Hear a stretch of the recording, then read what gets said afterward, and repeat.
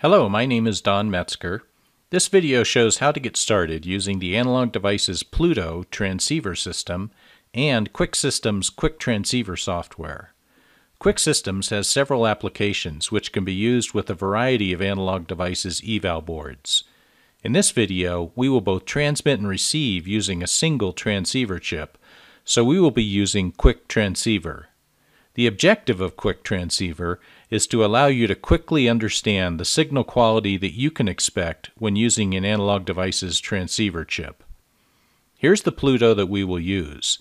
I have a short SMA cable between the transmit and receive ports. I also have a 10 dB attenuator in line with the cable just to provide a little isolation between the transmit and receive ports, but that's not absolutely necessary. There's also a USB cable for connection to the Windows computer. The Pluto USB driver has already been installed using the instructions available from Analog Devices. When the USB cable is connected to the computer, various actions might happen depending on the autoplay settings in the Windows control panel. In this case, Windows opened a dialog for viewing the contents of the Pluto as an external drive. We will simply close this window. Next, we will start up the qIQ Transceiver application. The first thing that we want to do is to set the size of the main window to approximately a square. On the main menu, select Windows and then Active Windows. This brings up a dialog that allows us to choose which windows will be displayed. For the case that we are doing in this video, we will choose Acquired Waveform, that is, the INQ waveform acquired by the Pluto receiver, the acquired spectrum, the constellation, and the measured results.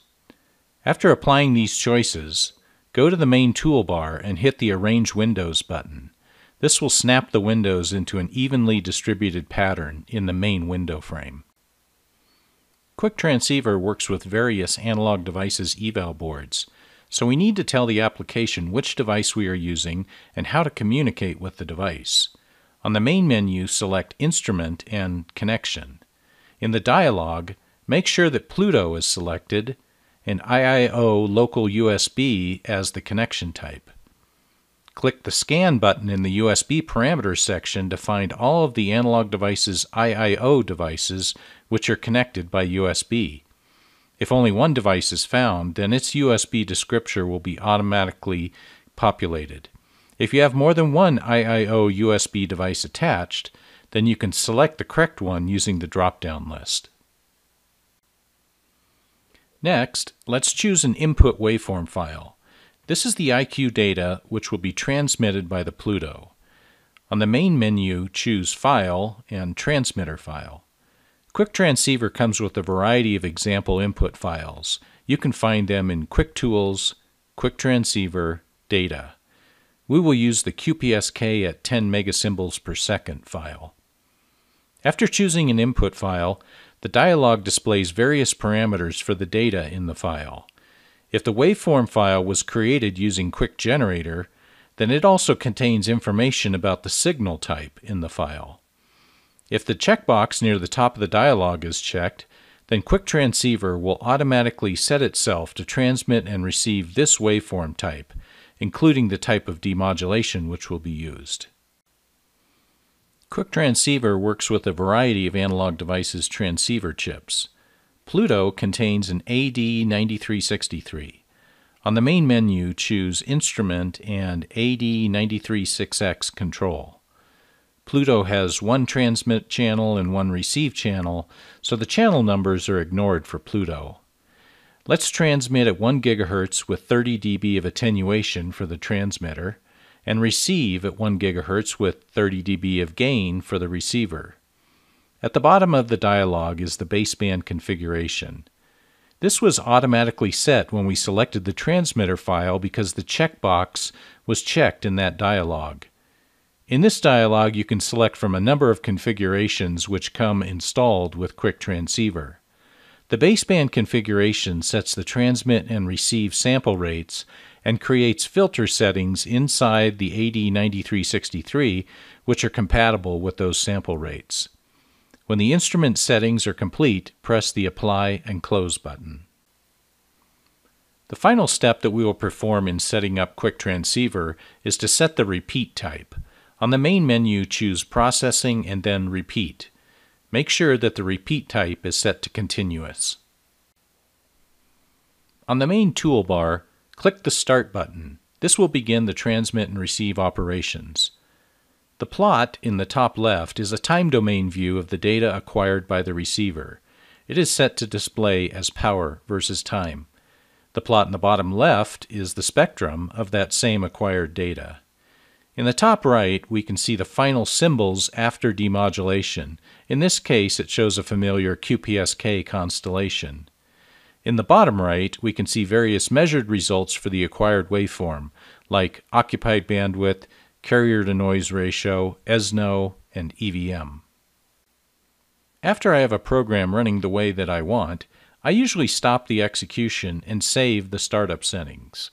To stop, click the Stop button on the main toolbar.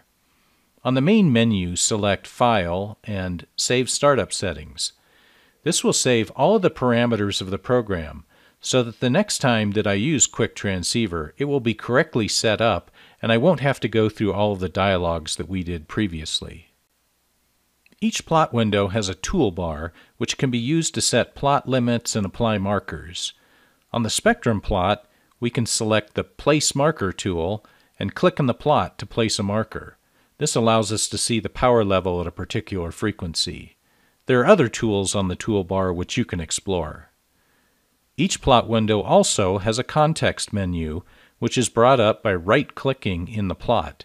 This menu allows us to copy the plot to the clipboard so it can be pasted into another application, like PowerPoint. There are also options for saving the plot image to a file or printing it. At the bottom of the context menu are options for displaying the data. These options vary depending on the type of data being displayed.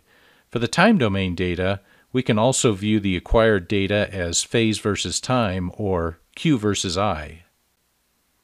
qIQ Transceiver also allows for saving of the entire set of windows together, so you don't have to save each one individually. On the main menu, select Windows and Copy Window Image to copy a bitmap image of all the active windows to the clipboard.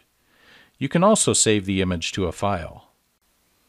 You can also change some aspects of how the demodulation process is handled. On the main menu, select Processing and PSK/QAM. One thing that is useful to do here is to turn on corrections in software for DC offset and IQ imbalance. Let's turn those on and see the effect on EVM. The AD9363 has internal DC offset correction and IQ imbalance corrections, but we can usually improve on those for our particular signal type in firmware or in software. In this case, we will do some software cleanups designed for QPSK. After running briefly, let's stop and observe the effect on EVM. In this case, the EVM improved from 3.47% down to 0.84%. To obtain a copy of qIQ Transceiver, qIQ Generator, or qIQ Receiver, visit qiqsystems.com and download the applications. After installing, you can request an activation code by sending an email message to sales at qiqsystems.com. Thanks for your time.